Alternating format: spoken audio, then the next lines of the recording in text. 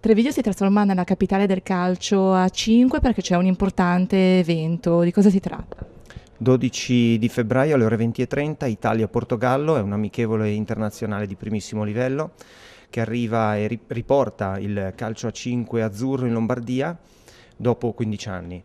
Eh, la nazionale poi replicherà anche il giorno dopo a Brescia, ma eh, l'evento clou sarà sicuramente quello nel Palazzetto dello Sport di Treviglio, in quanto ci sarà anche la diretta eh, su Rai Sport Satellite e sarà un'occasione importantissima per vedere due superstar assolute del futsal mondiale come Riccardinho, che è numero 10 è sicuramente uno dei più eh, grandi nomi, eh, un po' il Messi del, del, calcio a 5, e poi anche Stefano Mammarella che è il portierone azzurro eh, recentemente vincitore per il secondo anno consecutivo dei Futsal Award come miglior portiere del mondo.